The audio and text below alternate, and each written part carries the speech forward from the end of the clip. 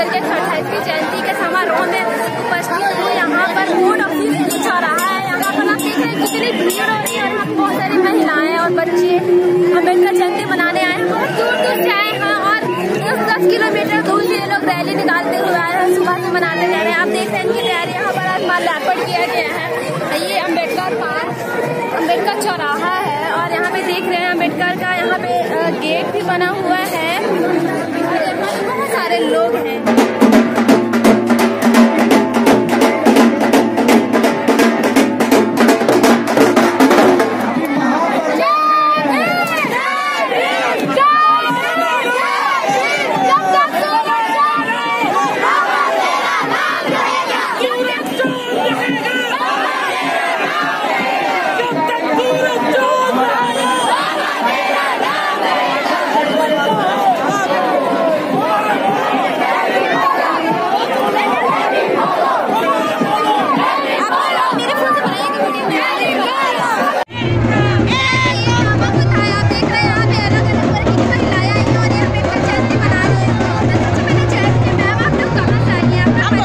पे बहुत सारे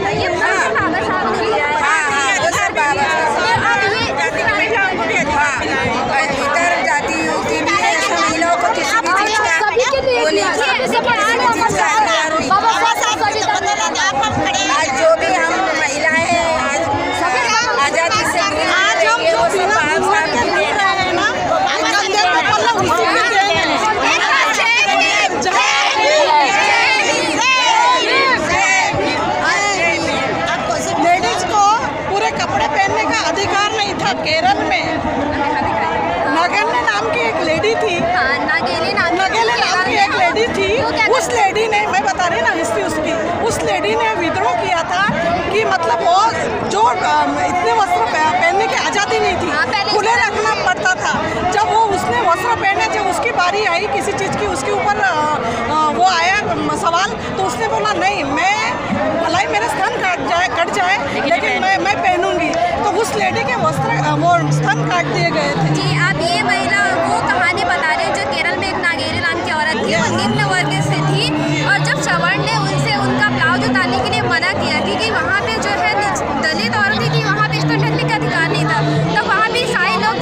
ईसाई धर्म के लोग आए और उन्होंने हमको वस्त्र पहनने का अधिकार दिया।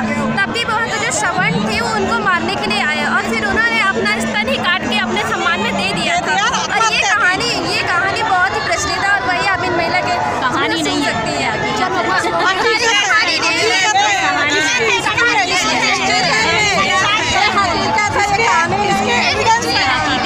इसके एविडेंस अभी भी साक्ष्य मौजूद है।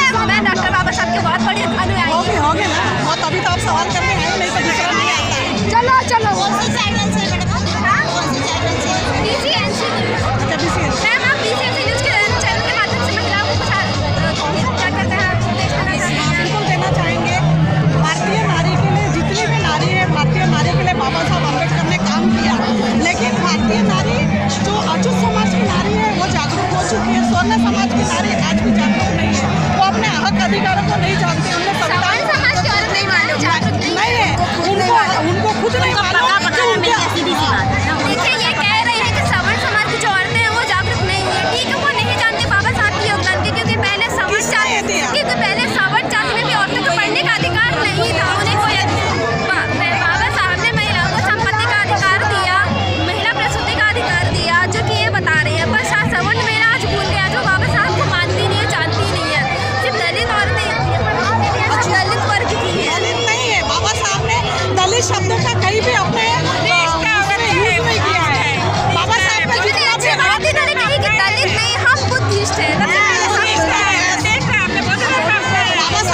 सौ छप्पन को हमको दिया इस धम्म का पालन करते हुए हम बुद्ध को मानते हैं और बुद्ध के फॉलोअर हैं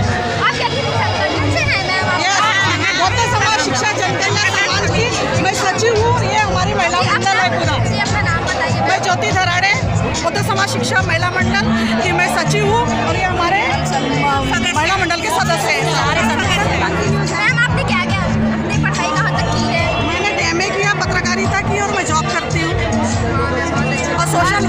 करती हूँ साथ में।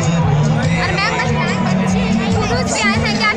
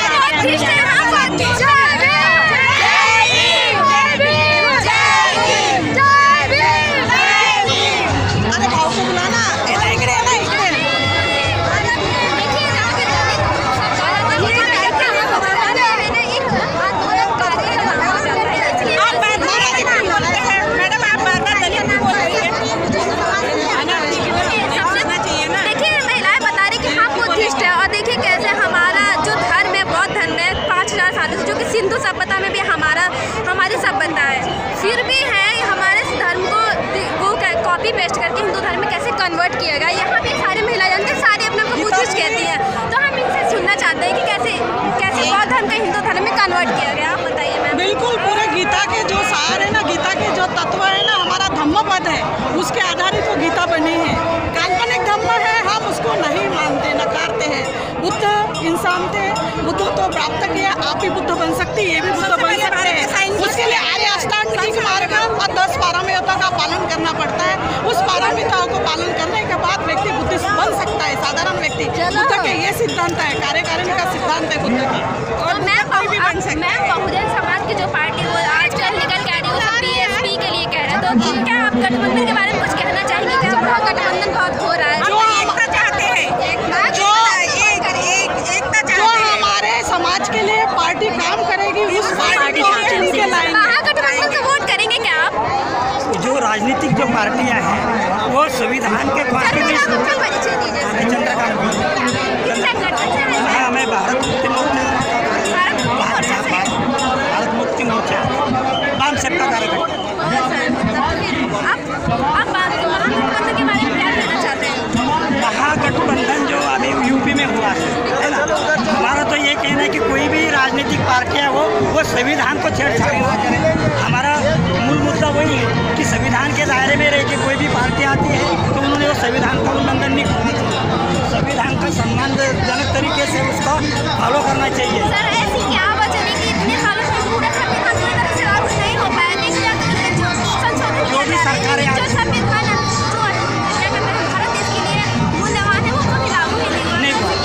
रही उसकी वजह ये की है कि जो कुछ चंद लोगों के हाथ में शासन बार बार शासन चंद लोगों के हाथ में जाता है। और वही उसका इम्प्लीमेंटेशन नहीं करता। है सर क्या इतने सालों से ये कुछ कर? कांग्रेस है बीजेपी जितनी भी कुछ नहीं करती है मतलब उन्होंने क्या किया कि जब बाबा साहब ने कहा था कि जो बहुजन समाज है उनके समाज समाज के अगेंस्ट में का- कास्ट के अगेंस्ट में उनका शासन पर शासन में हिस्सा हिस्सेदारी की मांग बाबा साहब ने करी थी। फंडामेंटल राइट जिसको कहते हैं। फंडामेंटल राइट के तहत काम ये मैम ये मैम बहुत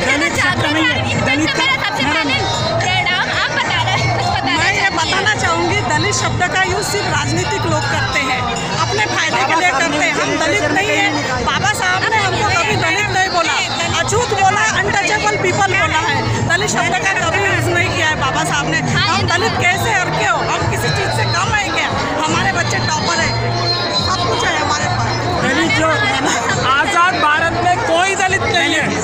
साहब के लिटरेचर में कई दलित शब्द नहीं है। बाबा साहब ने कहीं पर भी दलित शब्द लिखा नहीं। दलित का मतलब क्या होता है दबा हुआ। मतलब जानबूझकर जो दबाते हैं तो वो दबा हुआ होता है। लेकिन हमने दबाने के लिए बाबा साहब ने कहा कि दबोगे ही नहीं हम दबेंगे ही नहीं। दबने वाले लोग नहीं है एक कौन दबने वाला नहीं है।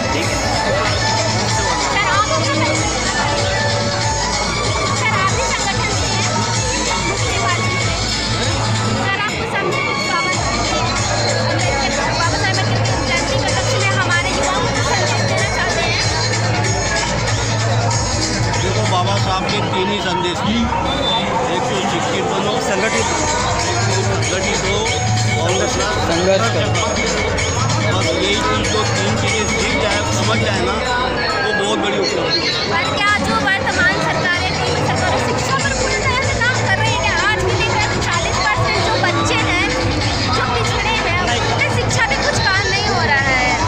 पिछड़े और हैं। सरकारी स्कूलें चल रही वहाँ पर जो शिक्षा है शिक्षा का स्तर एकदम गिरा हुआ है। वहाँ सिर्फ़ खिचड़ी और भोजन खिला करके बच्चों को भेजते उनको सही शिक्षा नहीं मिल रही। जी हाँ ये